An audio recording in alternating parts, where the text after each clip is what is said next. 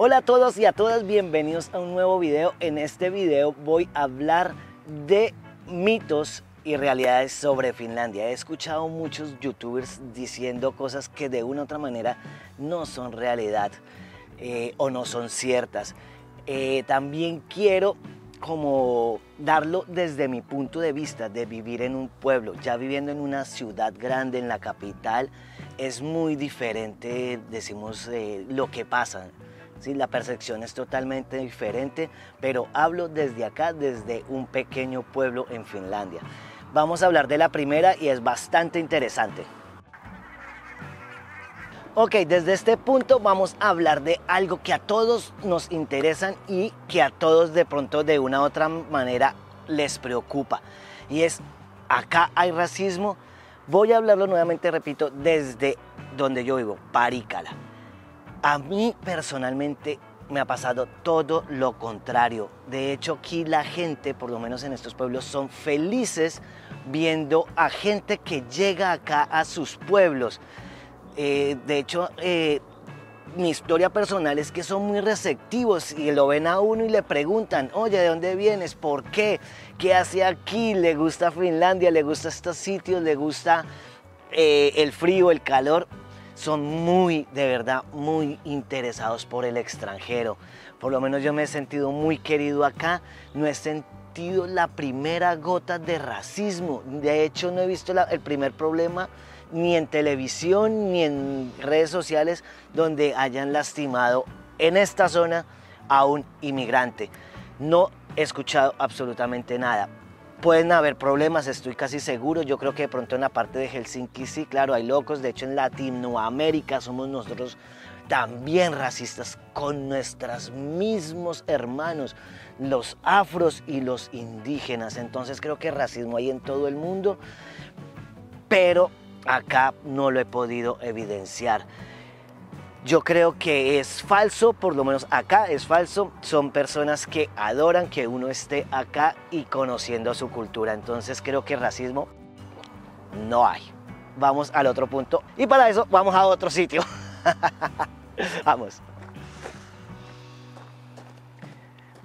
Hemos llegado al segundo punto y vamos a hablar de la comida, pero antes de hablar de la comida quiero mostrarles esto. Esto acá es un sitio para eh, deseamos hacer grill. Puede uno venir con la familia, puede tomar un poco de leña como están haciendo aquí atrás y asar algunas salchichas para eh, hacer una tarde agradable y aprovechar estos, estos tiempos tan hermosos de verano.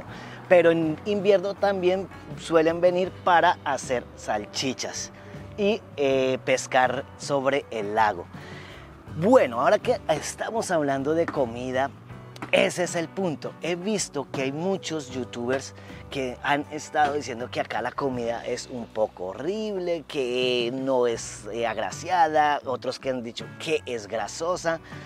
Y quiero desmentir eso. Realmente aquí la comida es muy saludable. Acá la gente, como pueden ver, están pescando.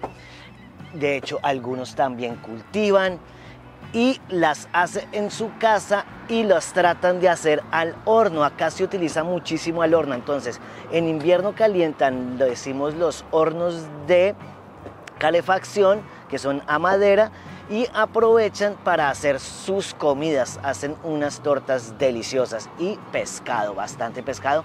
Por eso aprovechan todos esos lagos y lo que hacen es pescar y llevar sus pescados para la casa. Estos, estos lagos son bastante descontaminados, están bastante bien y es una manera de aprovechar. Otra cosa que he escuchado y me han dicho y es que en los supermercados casi no se encuentra comida. Pues les quiero decir que sí, se encuentra de todo.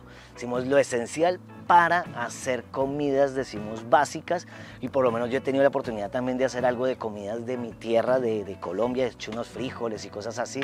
Se encuentra de todo, desde frutas que vienen desde Latinoamérica, Centroamérica, Suramérica, eh, mucha fruta de España, algunas de Asia, pero se encuentra de todo un poco y es pura mentiras que los supermercados no tienen. Obviamente, desafortunadamente, también son un poco costosas, pero se pueden pagar y se pueden consumir. Créanme, acá la comida es una delicia, entonces ese mito de que la comida en Finlandia es fea, es mentiras. De hecho, ah, bueno, les quiero contar, hay una, hay una que se hace aquí en Finlandia y precisamente en esta zona se llama el Karia Lampiraka. Es una delicia, es una, como una empanada, la, la empanada finlandesa y se hace de centeno. Es muy, muy rica y por dentro tiene una masa arroz y se hace con mantequilla y un poquito de huevo. Entonces, mito falso, la comida es una nota. Ahora vamos para el siguiente punto, pero vamos a otra, otro, decimos a otro, en otra locación.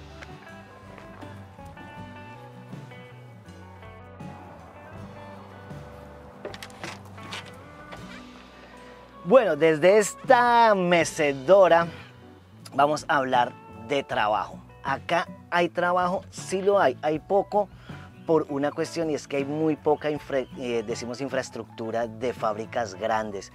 Son muy pocas, por lo menos en esta, zona, en esta zona existen dos empresas grandes, una que queda en Imatra, que es de cartón, y la otra que queda en Puncajarrio, que es una empresa, se llama Metza Group, es una empresa bastante grandísima a nivel mundial. Y bueno, hay, hay muchas vacantes constantemente, entonces pues es tener un poco de paciencia. Y en verano aumenta el trabajo para todos porque empieza a crecer, decimos, empiezan a llegar turistas y crece entonces el trabajo de lo que es hotelería y turismo. Ahí es donde todos los jóvenes y mucha gente viene a estos sitios a buscar trabajo. Se paga muy bien, es difícil un poco, pero se encuentra trabajo. Aquí también hay mucha oferta de trabajo con respecto a lo que es de cuidadoras y de personas que hagan aseo. Eso con respecto al trabajo. Ahora el siguiente punto es sobre las ayudas sociales. ¿Hay ayudas sociales para nosotros los migrantes? Sí, sí la hay. A nosotros nos dan un poquito de dinero para poder estudiar, ir a estudiar y vivir un poco. Eh, no es mucho, aproximadamente son 800 euros.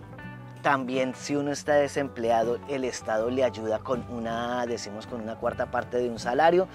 Hay otra cosa, acá no hay salarios como decimos en mi país, que son por ejemplo el salario mínimo. No, acá se hace un acuerdo con los empleadores para llegar a, decimos, a un precio, decimos, para ambas partes equivalente. Hay muchas organizaciones que establecen los valores, entonces eso por un lado. Si hay ayuda, entonces quitamos otro punto de lo que es mitos, de que aquí no ayudan o que si ayudan o que no, si se dan una pequeña ayuda. Ahora vamos a otro sitio y vamos a empezar a terminar ya este video prácticamente. Vamos. Bueno, en muchos noticieros dicen que Finlandia es el país más feliz del mundo. En muchos noticieros salen que se ha ganado por tercera vez el premio al país más feliz del mundo. ¿Es real? Sí. Y es que esta, esta organización mide la felicidad de las personas por muchas cosas y es la calidad de vida. ¿Por qué son felices? Porque afortunadamente ellos cuidan sus bosques, viven de la naturaleza, les encanta la tranquilidad. Acá la parte, decimos, em, de seguridad es bastante, bastante buena, que usted puede salir a cualquier hora, bien sea en Helsinki o en un pueblo de estos y nunca le va a pasar absolutamente nada. De hecho, como experiencia yo dejo en mi patio un par de bicicletas y dejo algunas cosas de herramientas y nunca se las llevan. De hecho, tengo en ese momento las llantas de invierno afuera y no le ha pasado nada. Eso hace que los finlandeses sean felices, tanto como los servicios decimos prioritarios y como los servicios decimos básicos los tienen de una manera bastante estructurada y eso hace que los finlandeses sean eh, las personas más felices del mundo y que Finlandia sea el país más feliz del mundo. Eso es un mito que es real y de hecho ya no es un mito, es una realidad. Finlandia es el país más feliz del mundo. Y caminando los voy a mostrar un poco cómo está la gente. Unos pescan, sacan su pescado y yo me imagino que en un rato va a ir a, a templar allá ese pescado en un rato cuando lo pesquen. Entonces por eso, de una u otra manera, ese tipo de actividades. Y es que hay otra cosa que también se me olvidaba decirles, y es que aquí, por lo menos, el trabajo, yo por ejemplo este verano voy a tener 40 horas semanales de trabajo. el sol baja bastante tarde, entonces salgo de mi trabajo y voy a poder disfrutar todavía del sol. Eso es una maravilla. Tener que salir uno tipo 9 de la noche de trabajar y poder disfrutar un poco del calor y del sol, eso realmente lo hace a uno feliz. Ahora vamos para el último punto y, los voy a dejar con esta imagen.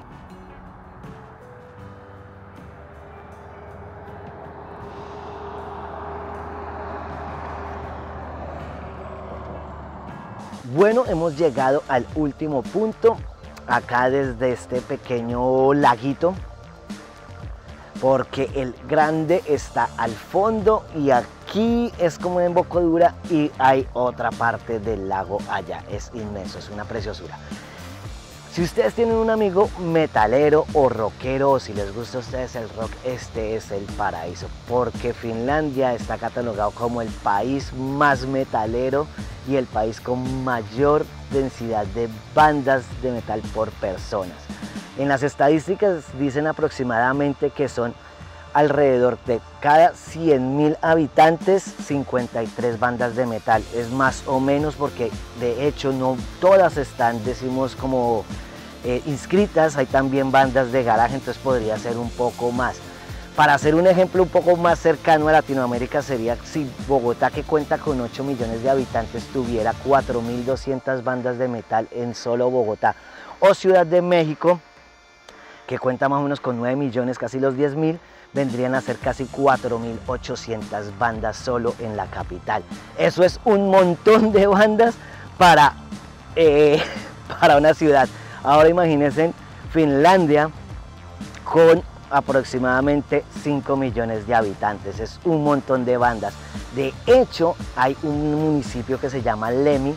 Este fue catalogado como la capital del metal mundial. Espero hacer en algún momento un video desde allá porque el alcalde es un metalero. Esos son datos de, un mito que decían de Finlandia se escucha rock y metal. Sí, sí es verdad, aquí es el paraíso. Si a ustedes les gusta el rock y el metal, aquí es el punto. Este es el, decimos, la, la meca del metal. Bueno, eso fueron mitos y realidades de Finlandia. Espero les haya gustado el video. Gracias por suscribirse, déjenme ese like que no les va a costar nada, pero si me quieren aún ayudar más, tengo tres plataformas donde me pueden colaborar, que es MobilePay, eh, PayPal y Patreon. Ahí me pueden ayudar para seguir viajando por todas estas zonas y seguir contándoles historias de Finlandia. Gracias por ver el video, gracias por quedarse y nos vemos en otro momento.